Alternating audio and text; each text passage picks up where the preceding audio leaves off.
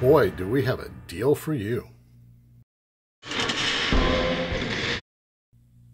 It would not be a deal if you bought it from this company. Silver Steeler here. Is at my LCS the other day. Decided to buy him a mount he had been talking about needing for his camera.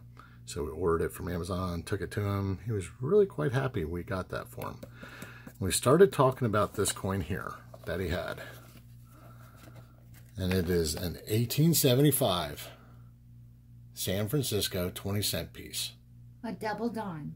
They minted 1,155,000 of these. And I have never had a 20 cent piece dime yet. I don't know how well that's getting that in there. Not too bad.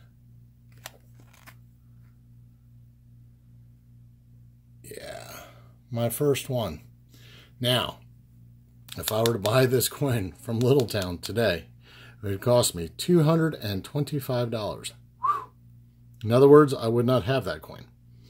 So my LCS guy, for being so happy that I bought that mount for, for him, uh, flipped a coin there and said, heads, I get to set the price. Tails, you get it at a cheaper price. Well, it landed on heads. I lost. And he sold it to me for $32. $32. That's why I have this coin in my hand.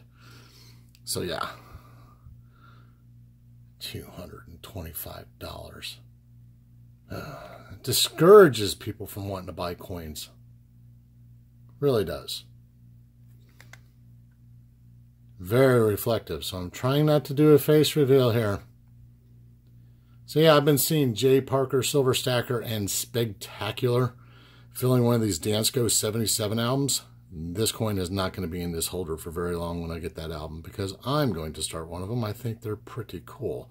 And this is a nice first coin for 32 bucks for that. Why not? This is the one I was talking about, Speg. This coin right here. So there it is. Remember to like, subscribe, and all those other good things. I'll see you on the next video.